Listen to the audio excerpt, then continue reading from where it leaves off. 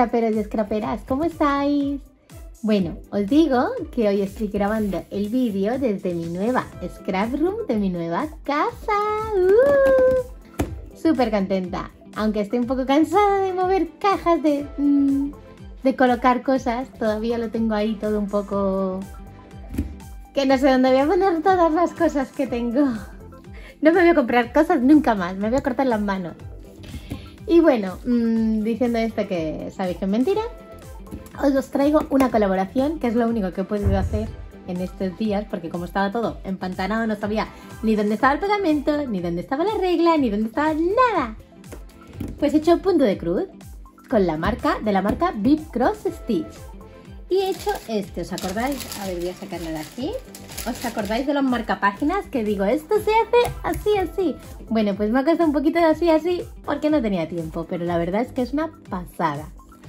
Venía aquí el patrón, ¿veis? Los hilos. Estos son los hilos que me han quedado. Yo creo que llega para otro perfectamente. Este es el otro lado. Este es la borlita el bolígrafo que una suscriptora, no me acuerdo quién, perdóname, me dijo que este bolígrafo es de esos que escribes en tela y luego le pasas la plancha y con el calor se van. O sea que genial. Y eh, viene este y luego viene este. ¡Tadán! Mirad qué cosa más mona. Mirad qué limpito por detrás. Y es plástico. No llega a ser canvas de ese plástico duro, pero es plástico. O sea que a la hora de coser tienes que meter la aguja y sacar. Cuesta mucho hacer así como en la tela. Pero es genial, la verdad. Súper genial. Mirad qué bonito ha quedado. Y yo creo que con esto llega para hacer otro para la parte de atrás. Podría haber cogido y haber hecho otro aquí. Y así, da igual por qué lado se ven. Pero he pensado, pues cojo este, le pongo otra cosa detrás y ese lo hago. Y tengo dos y puedo hacer dos regalos. Porque como este ya sabéis que es para las craperillas Sara digo, pues me lo hago para mí, o para mi hermana Sofía, que también le gusta, o para Itana, que también le gusta. No sé, hago otro, entonces aprovecho, tengo dos y hago dos por separado. Pero claro, este no lo voy a dejar así, aunque no tiene muchos hilos por ahí sueltos, no queda bonito así. Entonces, vamos a ver, vamos a, terminar primero este y luego, o, primero el otro. es que quería deciros, como este no tiene, veis que no tiene dibujo como otros, que hemos hecho. Quería enseñar cuál es la manera de empezar, ¿vale? Entonces, para empezar, yo cojo un hilo. Vamos a ver, mirad, aquí tengo uno sueltecito. Cojo la aguja, que no sé dónde está. ¿En serio, María? Eh, sí, en serio. La aguja está con las agujas. A ver... Bueno, ahora la traigo. Mirad, tenéis que ir al dibujo. Entonces, en el dibujo contáis contáis cuántos hay. Aquí viene numerado, si os fijáis, de 0 al 100. Esos son los cuadritos. Cada cuadrito de estos vienen 10 por 10. Están marcados a 10 por 10. Mira, aquí se ve mejor. Estos son 10 por 10. ¿Veis? Arriba también empieza en el 0. Este tiene de ancho 30 y de alto tiene 101, 2, 3 y 4. 104 voy a marcar con un porque este se borra. Todavía no tengo cosas por ahí. De alto son 104 y de largo, este es de alto, y de ancho son 30. Entonces tengo que coger la mitad, de 30 serían 15 y de 104 serían 52. Me cojo el patrón y me voy a 52 serían 10, 20, 30, 40, 50 y 2 esta es la línea del 52 y de, y de ancho serían 15 pues serían 10 y 5 a la mitad. Está aquí el 10 1, 2, 3, 4 y 5 ¿veis? lo tengo ya marcado. Esa es la mitad del patrón pues ahora me tengo que ir a la tela y busco la mitad. Puedo contar los cuadritos o hacer así directamente. Si tenéis un trozo grande de tela, yo lo que hacía, cogía un rotulador también de estos que se borra, iba también 10 y hago, hacía marquita, 10 y luego mucho más fácil contar 10, 20, 30, 40, iba marcando de 10 en 10. Pero aquí, como tengo el S más o menos ajustado, pues busco el centro y cojo con un hilo y lo paso por en medio. Bueno, y, con la aguja pues chu, chu, y lo paso así. Y luego hago lo mismo con el otro lado. Busco el centro y paso la aguja con el hilo. Y entonces me quedaría así. Perdonadme que no me he traído la aguja. Pero como es para enseñaros así básicamente, entonces, ¿qué hago? Pues empiezo, pues por ejemplo, con el amarillo. Y empezaría a coser la parte del amarillo. Y una vez que tú ya tienes el centro, ya esto se lo puedes quitar y ya puedes seguir cosiendo alrededor. Ay, perdonad. ¿De acuerdo? Espero que lo hayáis entendido. Es muy fácil, es buscar el centro aquí, buscar el centro aquí. Entonces ya tejer de acuerdo a ese centro. Ahora, esto, ¿qué vamos a hacer? Aquí me sobra mucho. Aquí en el dibujo, si os fijáis, lo ha recortado ahí justo al ras. Pero es que justo al ras, mmm, no sé yo. A ver si me vais a hacer. Entonces yo voy a cortar uno antes. Voy a coger unas tijeras. Y está guay esto porque al ser como plástico no se deshilacha, ¿veis? No se deshilacha nada. Cojo las tijeras y ¿Veis? Le corto uno.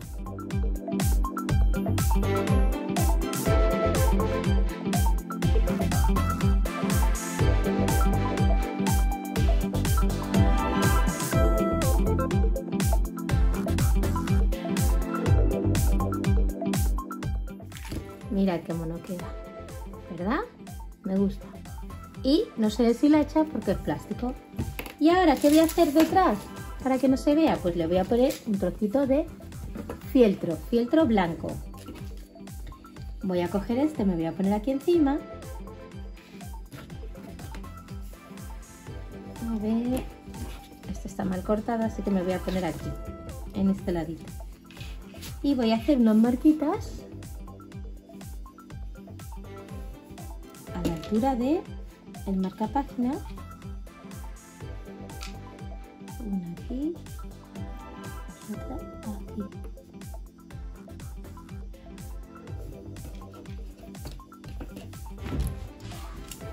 La regla y marco. Y aquí igual cojo la regla y marco. Y ahora lo recortamos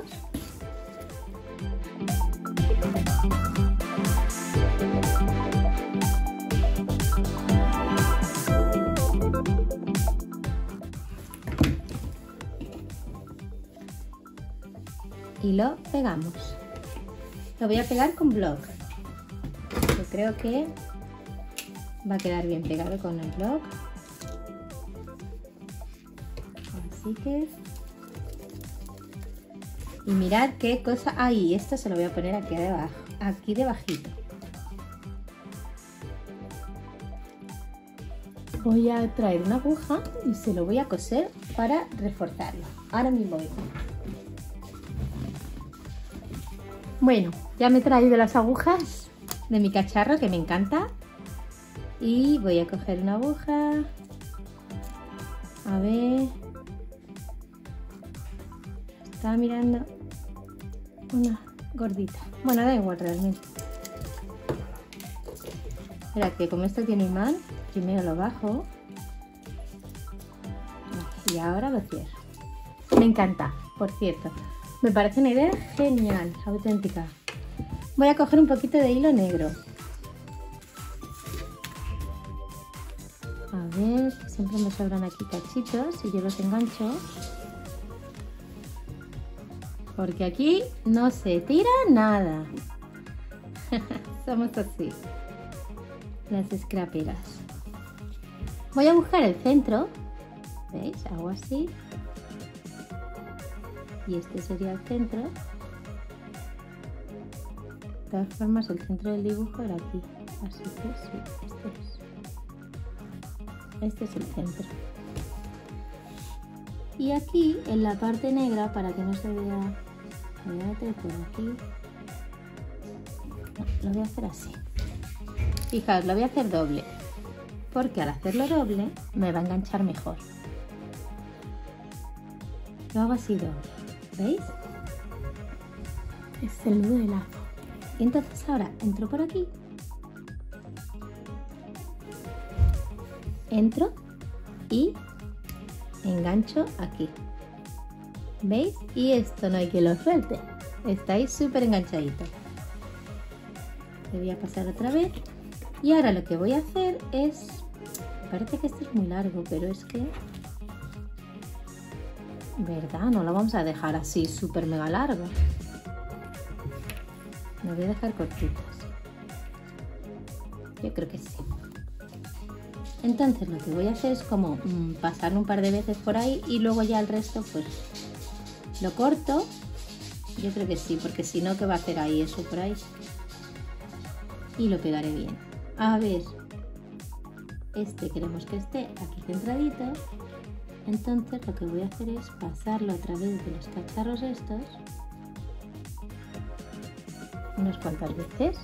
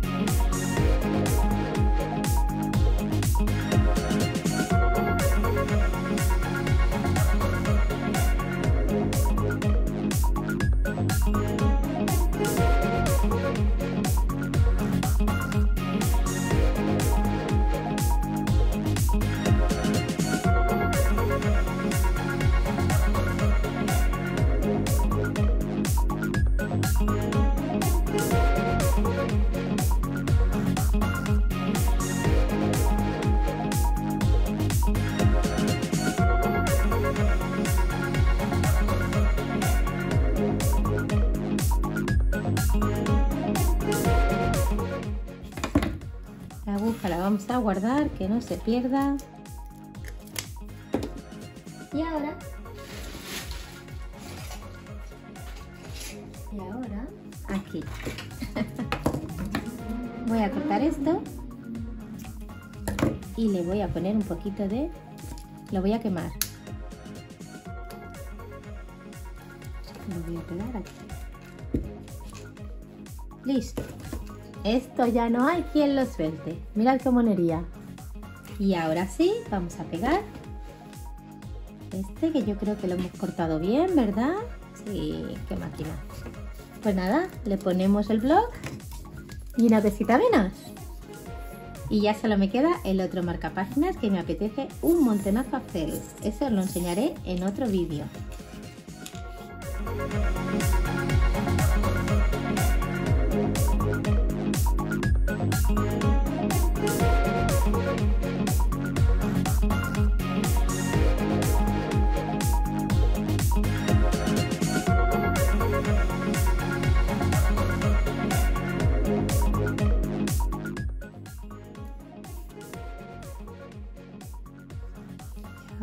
Pegamos con cuidadito.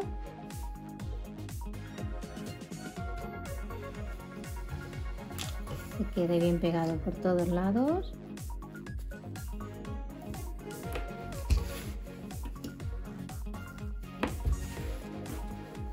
Qué chulo. Y así tenemos otro para hacer. Podemos hacer dos. Con, con cada uno de estos, de estos kits o de estos packs podemos hacer dos. Dos marcapáginas.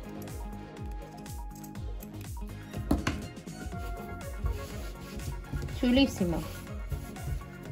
Mirad qué cosa más. Bueno, puede ser un marcapáginas, puede ser un banderín que lo queréis colgar vosotros en algún sitio. Pero mirad qué preciosidad de marcapáginas. Este se lo voy a llevar yo a mi Sarita hoy. Que a ella le gusta mucho leer y le gusta Harry Potter y el próximo va a ser para mi sobria Itana. Que no sé si le voy a hacer este modelo o le, voy a hacer, el otro. Yo creo que le voy a hacer el otro, que le va a gustar también. Y este pues ya lo haré más para adelante.